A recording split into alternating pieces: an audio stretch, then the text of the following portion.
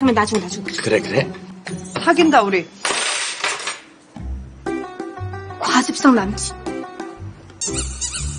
우리 담임쌤?